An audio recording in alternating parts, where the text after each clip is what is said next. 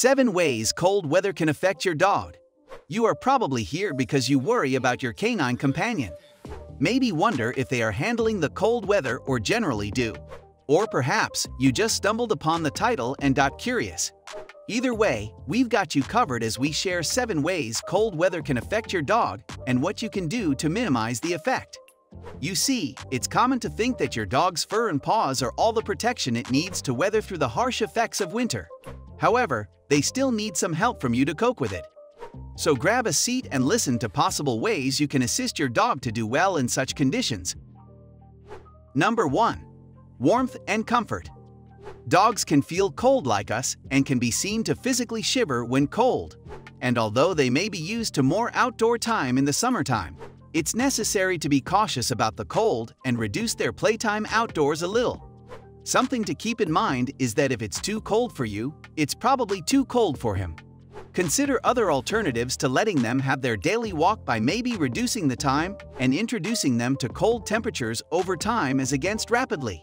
And when they go on such outings, consider wrapping them up in a shawl or wearing a sweater providing some clothing to provide some warmth. After a walk or run in the snow, pat their fur with a dry towel because their fur will likely be wet. Number 2. Shelter. Your dog's house must be kept warm and dry as much as possible. It should be well insulated to protect them from the cold. It is not advisable to put a fluff blanket or towel in your dog's house because if it gets damp, it can freeze, and that will have the opposite effect. Consider allowing your dogs to stay indoors during the winter. However, you have to monitor their exposure to fireplaces, space heaters, or even candles to prevent accidents. Dogs can get involved in burn accidents just like we can. Number 3. Rock salts and antifreeze.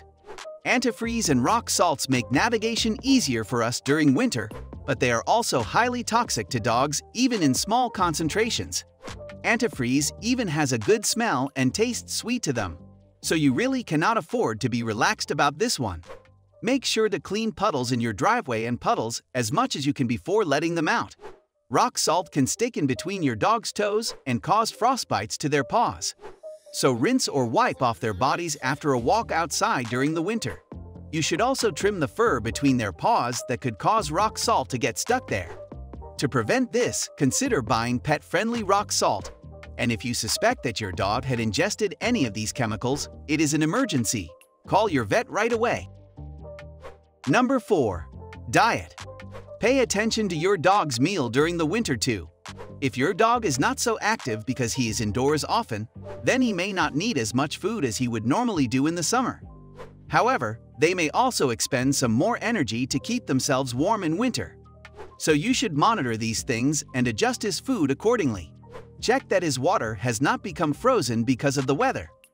Frozen water is not the same as one that isn't. Number 5. Susceptibility to frostbites. Just like humans, your dogs are susceptible to frostbites upon exposure to extremely cold temperatures for long periods.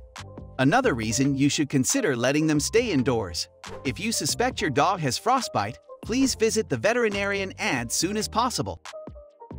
Number 6. Older dogs. Older dogs often need more care and attention and can be more susceptible to the effects of the cold weather. So be sure to pay attention to them and if they have to be outside or go for walks, then start slow and monitor how they respond to it before modifying the timings. Number 7. Holiday Periods It's easy to get carried away with the fun of holiday periods and forget about the extra care your dog needs. But you've got to pay attention to it too. During holiday periods, your dog may get exposed to things they may not otherwise be exposed to, for instance, leftover food from the trash. Food containing grapes, including raisins, are toxic to your dogs and could cause acute renal disease. So as you enjoy the company and festivities of the time, be sure to keep an eye on your dog too. Our friendly companions can function relatively better in the cold season with our care and attention. Ensure you are involved and consider making some of these changes to improve their health in the winter.